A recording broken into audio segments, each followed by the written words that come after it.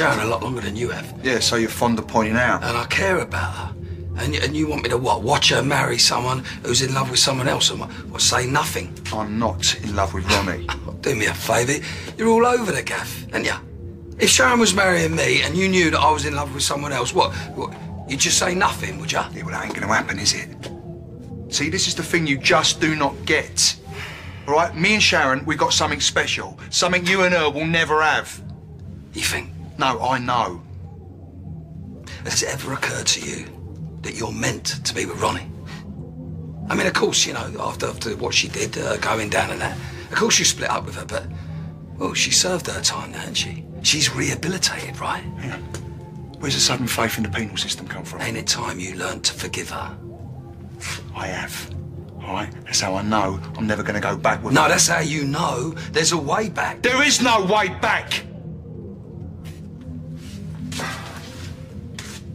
Wait, give me that. Get up! Give me it!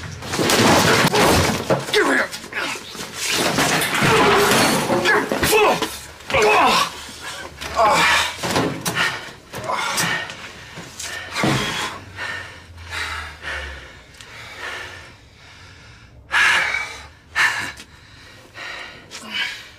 She wants to see you.